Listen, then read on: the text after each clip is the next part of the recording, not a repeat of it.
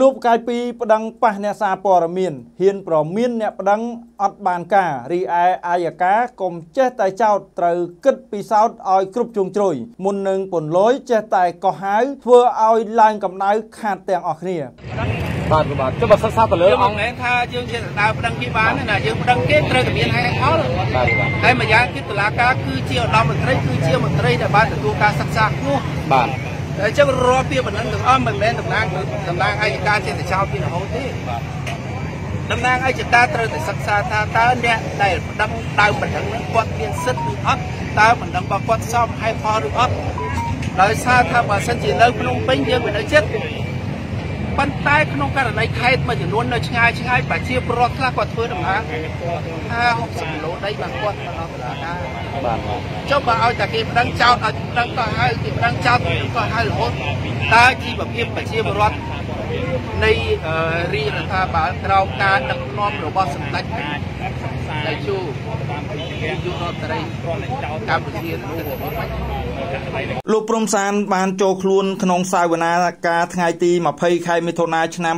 2022នេះតាមបណ្ដឹងរបស់លោកហេងសារឿនអនុប្រធាននាយកដ្ឋានវិទ្យាសាស្ត្រនិងបច្ចេកទេសនៃក្រសួងហាផ្ទៃបើតាមឃ្លីបលោកព្រំសានបានប្រកែកចំចំទៅលើប្រព័ន្ធតុលាការទៅលើផ្នែកអាយកាទាំងស្រុងថាតុលាការជាឧត្តមមន្ត្រី ជាមន្ត្រីដែលបានសិក្សាខ្ពស់ចុះរាល់ពាក្យបណ្ដឹងទាំងអស់សូមតំណាងអាយកាទាំងព្រះរាជអាជ្ញាព្រះរាជអាជ្ញារងទាំងអស់គួរពិចារណាឲ្យបានខ្ពស់មិនមែនចេះតែចោទទៅតាមពាក្យបណ្ដឹងនោះទេតំណាងអាយកាគួរត្រូវបានសិក្សាឲ្យបានខ្ពស់ថាតើបណ្ដឹងនោះមានសិទ្ធិឬអត់តើបណ្ដឹងរបស់ពួកគាត់សមហេតុផលឬអត់បើសិនជានៅភ្នំពេញគឺនៅចិត្តប៉ុន្តែនៅក្នុងករណីខេត្តនៅឆ្ងាយនេះក្នុងបំណងដើម្បីជួយសម្ដេចនាយករដ្ឋមន្ត្រីរក្សាចិត្តរាជនិងជួយកាត់បន្ថយភាពក្រីក្ររបស់រាជនៅជនបទឆ្ងាយពីខេត្តផ្សេងផ្សេងម្យ៉ាងវិញទៀតអង្គញាម្នាក់បានប្រាប់អង្គភាព TNM ថ្មីថ្មីនេះថាមានតុលាការនៅខេត្តកំពតខាងអាយកាបានទទួលពាក្យបណ្ដឹងរឿងដែល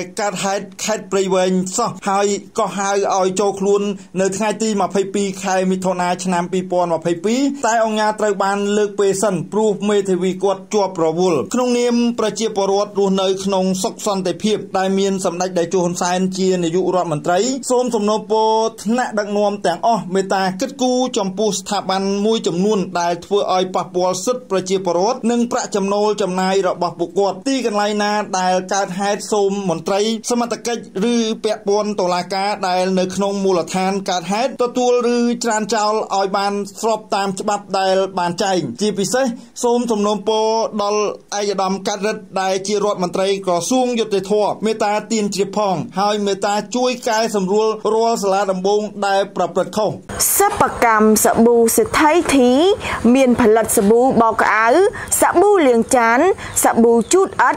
ដោះបង្គន់សាប៊ូបោកក្អៅម្សៅ និងទឹកក្រអូប ដែលមានគុណភាពល្អនិងតម្លៃសមរម្យគ្រប់គ្រងផលិតផលខ្មែរជួយឲ្យប្រជាពលរដ្ឋមានការងារធ្វើ Facebook Page កូនខ្មែរសាប៊ូខ្មែរ